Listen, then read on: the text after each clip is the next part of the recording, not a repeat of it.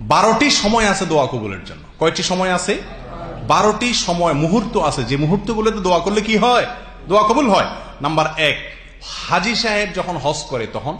Number দুই ওমরাকারী ব্যক্তি যখন ওমরা করে তখন।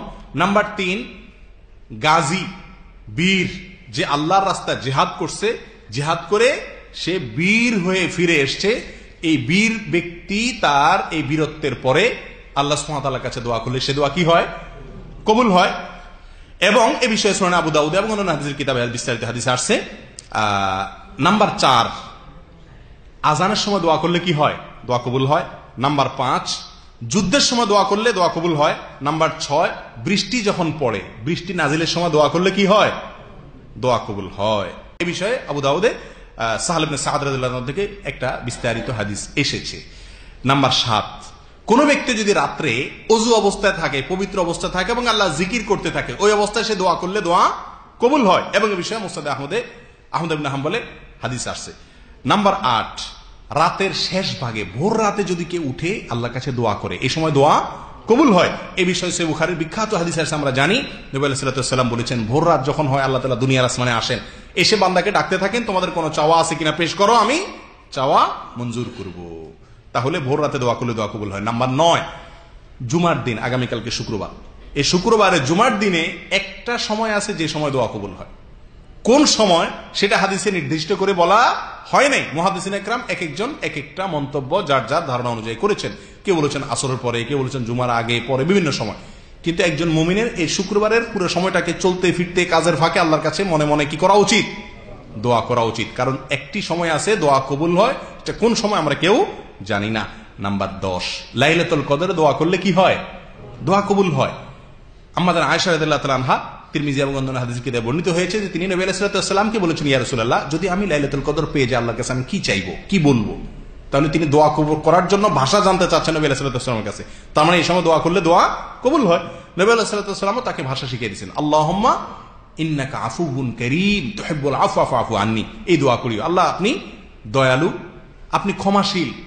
আপনি করিম, অতএব আমাকে ক্ষমা করুন। তাহলে লাইলাতুল কদরে এই সময় দোয়া করলে এরাতে দোয়া করলে কি হয়? দোয়া কবুল হয়। নাম্বার এগারো, আজান এবং একামতের মধ্যবর্তী যে জায়গাটা, আমরা বেশিরভাগ টয়লেটে পড়ে থাকি এই টাইম এই টাইমটাতে দোয়া করলে কি হয়? দোয়া কবুল হয়। নাম্বার বারো, পাঁচক্ত সলাতের একেবারে শেষ ভাগে এসে দোয়া করলে দোয়া কবুল হয়। দোয়া মাসুরা পড়ি না আমরা। আত্মায়ত দুরুদের পরে এ দোয়া মাসুরার জায়গায় শুধুমাত্র দোয়া মাসুর আল্লাহ জলাম তো নাফসি না। এখানে রব্বের হামুমা পড়তে পারেন, রব্বানা আতিনা ফিদ দুনিয়া পড়তে পারেন যে কোনো দোয়া আপনি এই জায়গায় পড়তে পারেন। দোয়া জায়গা, এই জায়গা হলো দোয়া কবুলের জায়গা। কেউ কেউ বলেছেন সালাতের শেষে। এ হলো মোট বারোটি জায়গা, যে জায়গাগুলোতে কি হয় ভাই? দোয়া কবুল হয়। চার অবস্থায় দোয়া কবুল হয়। এবার আসি অবস্থায়। চারটা অবস্থা আছে, যে অবস্থায় কি হয়? দোয়া কবুল হয়। নাম্বার এক, সফর অবস্থায় দোয়া কবুল হয়। কি অবস্থায় দোয়া কবুল হয় ভাই?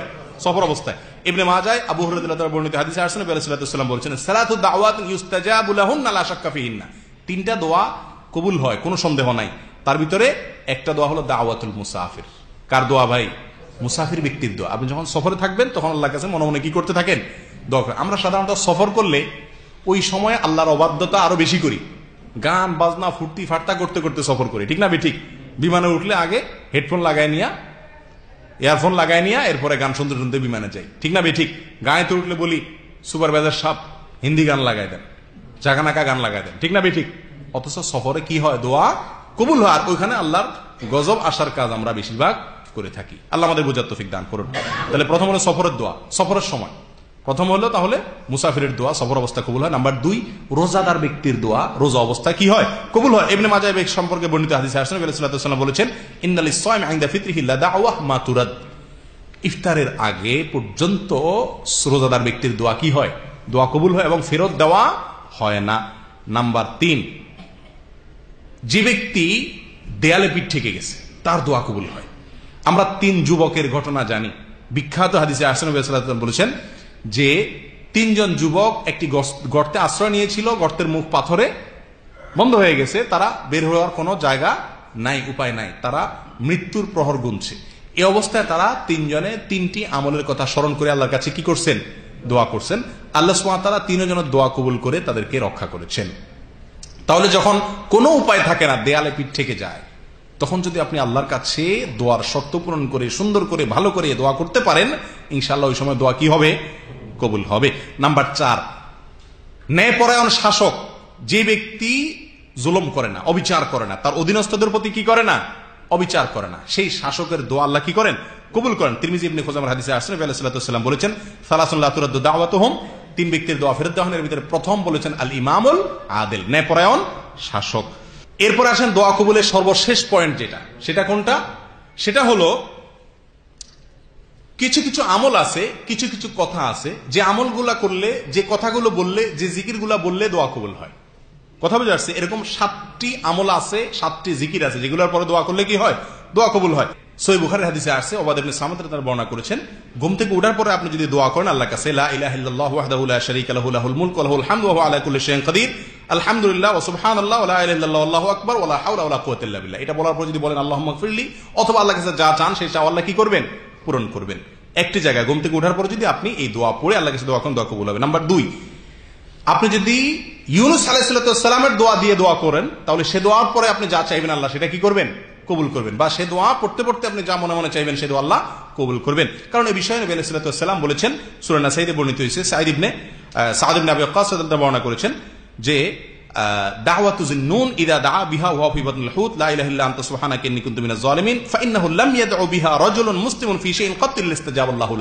ইতিহাসে কেউ এই দোয়া পড়ে আল্লাহর কাছে দোয়া করছে আর দোয়া কবুল হয় নাই, এরকম ঘটনা ঘটে নাই। কে বলতেছে? নবী রাসূলুল্লাহ সাল্লাল্লাহু বলতেছেন। প্রিয় ভাই, তাহলে যেই কোনো বিপদ থেকে বাঁচার জন্য একটা কমন দোয়া আছে কি?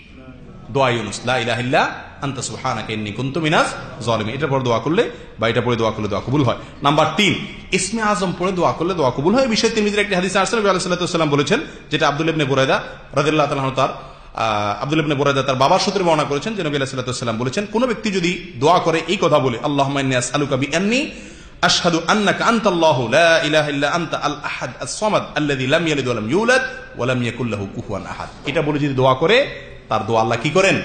কবুল করেন। কয়টা গেল? তিন।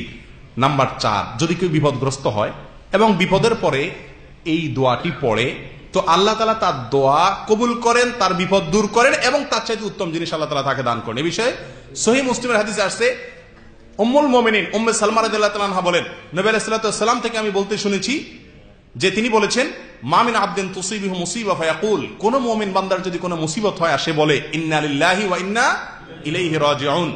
এবং সাথে বলে আল্লাহ আজরুনি ফি মুসিবাতি মিনহা।